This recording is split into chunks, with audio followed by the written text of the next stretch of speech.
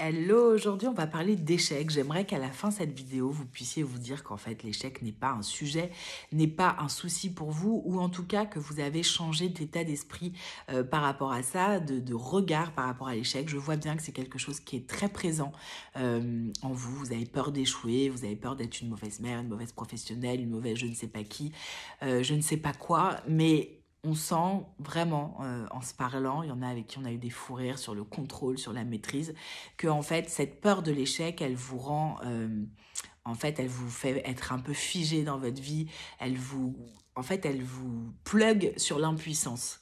Et, c'est tellement bête parce que vous êtes euh, des nanas où vous avez tellement envie d'aller plus loin, vous avez tellement envie d'avancer, vous avez tellement de choses en vous Voilà, vous avez envie en plus de vous sentir challengé. Et parce que vous avez peur de l'échec ou un mauvais rapport, on va dire, avec l'échec, et eh ben vous passez à côté de ce mouvement qu'est la prise de risque. Et en fait... Voilà, il n'y a, pas de réussite sans prise de risque, il n'y a pas d'échec non plus sans prise de risque. Et en même temps, euh, je crois que c'est David Laroche qui, qui, avait fait une vidéo comme ça il y a quelques années sur l'échec qui disait euh, en même temps en fait euh, le fait de ne même pas essayer d'aller vers soi, vers ses rêves et tout, c'est déjà un échec en soi. parce qu'en fait, comme on s'autorise pas, qu'on bouge pas, qu'on n'y va pas, bah, on est déjà en train d'échouer. En fait, on a peur d'échouer, mais on est déjà en train de le faire. Et j'avais adoré cette notion parce que je la trouvais très intéressante, parce que c'est vrai qu'en fait, la notion de quand on se met en mouvement vers quelque chose, bah en fait, on, a, on multiplie les chances de réussite plus que d'échec. Alors que quand on ne se met pas en mouvement vers ce qu'on veut, bah en fait, il euh, n'y a rien qui va changer. Donc en fait, on va être en échec par défaut. C'est juste qu'on ne pourra pas dire qu'on est en échec parce qu'on n'a pas montré qu'on a essayé.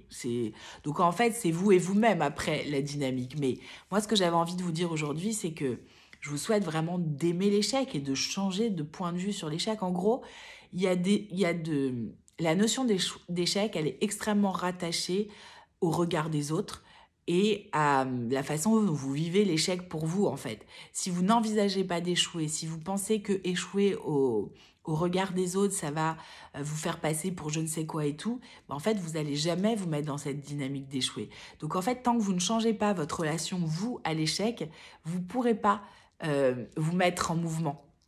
Et parce qu'en fait, c'est vraiment plugué au regard des autres et à votre ego, en fait, l'échec.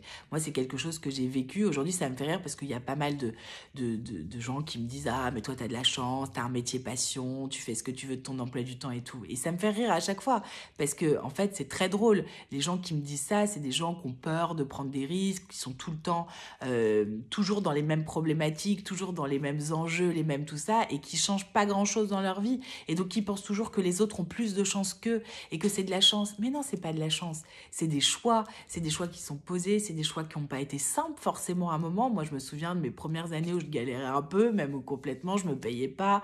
Euh, j'avais voilà, j'avais limite honte en me disant mais putain, euh, quand est-ce que je vais devenir rentable et tout ça? Et en fait, je voyais mes potes qui allaient claquer leur première paye et tout ça dans des vacances ou dans des trucs et moi, euh, pas du tout à l'époque. Donc en fait, chacun a ses moments de chance, chacun a ses moments d'échec entre guillemets. Enfin, en tout cas de moments moins fluides. Mais faut arrêter ces trucs avec il y a des gens qui ont de la chance, qui échouent jamais et tout. Là, je suis très contente parce que les très grands entrepreneurs, ceux qui ont des grosses réussites avec des grosses entreprises très connues, commencent à ouvrir leur, euh, leur bouche, j'allais dire, à dire mais attendez, avant d'être arrivé là, j'ai eu une succession d'échecs, j'ai eu une succession de boîtes que j'ai déglinguées, que j'ai que j'ai voilà, de, ruines, de choses et tout. C'est c'est un peu comme l'ombre et la lumière, hein. on est très lumineux quand on a vécu des ombres. Euh, voilà, il y a personne qui est très lumineux s'il n'a pas vécu euh, le chaos.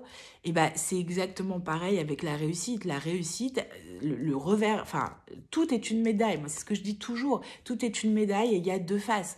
Donc dans la réussite il y a la face échec et elle est là quoi quoi quoi qu'il se passe. C'est juste le regard que vous avez sur l'échec qu'il faut changer. Et c'est ça que je veux vous amener aujourd'hui, c'est de comprendre que en fait l'échec c'est une situation de non-réussite, on va dire. Mais que, en fait, c'est l'opportunité d'analyser cette situation-là pour construire vos réussites de demain. Il faut comprendre que les gens qui osent euh, prendre des risques, qui osent, en fait, qui n'ont pas peur de l'échec, c'est des gens qui vont du coup pouvoir se mettre en mouvement facilement et qui vont savoir se réadapter tout le temps pour évoluer toujours plus. Et c'est ça qu'il faut comprendre, c'est que sortez de cette notion d'échec. Faites ce que vous avez envie. Quand vous sentez que vous dites ah là là, mais un tel, qu'est-ce qu'il va en penser et tout, mais un tel, on s'en fout de ce qu'il pense. De toute façon, ce qu'il pense, c'est la majorité du temps ceux qui foutent pas grand chose. Parce que ceux qui sont en train de faire des choses pour leur vie, ils sont pas en train de vous regarder, ils sont pas en train de vous juger, ils sont pas en train de machin. Les gens qui sont là, ceux qui jugent tout le temps, ceux qui emmerdent le monde tout le temps, c'est les gens qui ont rien d'autre à foutre que ça, en fait. Donc, ça, faut arrêter de suspendre votre évolution, votre bonheur, vos actions à ces gens-là. Vous allez en fait bien mieux que des gens qui vont vous juger, que des gens qui vont penser euh, ce qu'ils veulent penser sur vous. Donc comprenez que dans l'échec, c'est soit je gagne, soit j'apprends. Il n'y a pas d'autre solution dans la vie. Il n'y a pas d'échec absolu. Jamais. Il n'y a que des situations qui ne sont pas allées au bout ou qui n'ont pas réussi comme on voulait et donc qui nous amènent à nous réajuster, à nous réorienter, à prendre du recul, à se remettre en question, à être honnête envers soi en se disant attends, si je suis honnête, est-ce que j'ai tout fait pour? Est-ce que là, je me suis pas moi-même démotivée, que j'ai un peu laissé le truc partir? Moi, je suis en train, aujourd'hui, là, juste avant vous, j'étais en train d'annuler le lancement de Majestic. Vous avez certainement vu passer euh, ce groupe que j'ai lancé et je l'ai annulé bien par, euh, je vais dire, beaucoup de gens pourraient se dire, oh, elle a échoué, elle n'a pas rempli le groupe, elle a échoué. Mais tant mieux ceux qui pensent ça. Moi, je connais ma réalité. Je sais ce qui s'est passé sur Majestic. Et j'ai compris ce qui s'est passé. Et je sais que je, que je peux justement évoluer. J'ai compris que j'avais mal positionné Majestic, que j'avais pas assez ciblé. Et du coup, je me suis retrouvée avec quatre personnes qui se sont inscrites, qui ont payé et qui étaient des entrepreneuses, des nanas que je suis en individuel alors que j'avais justement lancé ce groupe en me disant que c'était les personnes qui n'osaient pas travailler en individuel avec moi qui allaient s'inscrire. Finalement, non. C'est Nana qui travaillent en individuel sur le fond et qui sont toutes les quatre entrepreneuses et qui voulaient justement un groupe un peu plus, voilà, entrepreneurial et tout, et qui se sont inscrites là-dedans. Et donc, du coup, après, j'ai eu trois personnes qui ont voulu s'inscrire et j'ai vu qu'il n'y avait pas du tout cette même dynamique, dont c'était pas du tout le sujet. Et là, je me suis retrouvée en me disant, bah non, en fait, moi, j'ai un leitmotiv, c'est que je, veux que les groupes soient ouf, que ce que je propose ne soit jamais déceptif et que ce soit l'explosion dans ces groupes-là, qu'on soit au top. Et quand j'ai vu ces deux profils de personnes très différents et que je ne pouvais pas rassembler parce qu'on n'était pas du tout sur les mêmes profils, un ne vaut pas mieux que l'autre, c'est juste deux profils qui sur un an tous les mois n'allaient pas pouvoir se rencontrer à chaque fois, et eh ben j'ai refusé trois personnes. Donc à ce jeu-là, je n'ai pas pu remplir le groupe. On rajoute à ça le fait que je pensais avoir un mois de janvier beaucoup moins chargé que, que ça n'a été. Du coup, je n'ai pas du tout assez communiqué, je me suis pas bien organisée sur la communication, et donc du coup, je n'ai pas pu ouvrir. Je n'avais pas positionné, comme je viens de vous le dire, le, le groupe assez bien. J'avais pas positionné le créneau en disant on verra à quel moment on, le, on fera la session mensuelle en fonction de vous, en fonction de la team, et finalement ça a perdu beaucoup de gens, il y a des gens qui avaient besoin de savoir pour s'engager. Bref, j'ai fait des erreurs, maintenant je sais où elles sont. J'ai aussi, je me suis aussi autorisée à, dire bah non, je vais dire non à, certaines personnes parce qu'en fait ça va pas aller, je vais prioriser les personnes qui ont déjà payé, qui se sont déjà engagées. Euh, mais donc en fait on apprend quand on comprend. Et surtout, voilà, cette, entre guillemets, que, cet échec, euh, moi aujourd'hui, il vient me dire un truc dingue, c'est que si je suis honnête, bah en fait, je savais pas au moment où j'ai lancé Majestic que j'allais me faire opérer en février et que du coup, je serais dans une énergie un peu plus fatiguée que d'habitude et que plus les mois avançaient de communication sur Majestic, plus je me disais, c'est quand même dommage de lancer le groupe comme ça début février et puis d'avoir 15 jours où je vais être quand même beaucoup moins dispo. Donc au fond de moi, bah, l'énergie, elle a diminué, donc j'ai moins vendu, euh, j'ai moins fait de autour de Majestic. J'ai... Et de toute façon, même si j'avais fait autant, quand l'énergie n'est plus complètement alignée, moi je connais mon mécanisme, je sais que je ne peux pas vendre quelque chose qui n'est pas complètement à 110 000% raccord.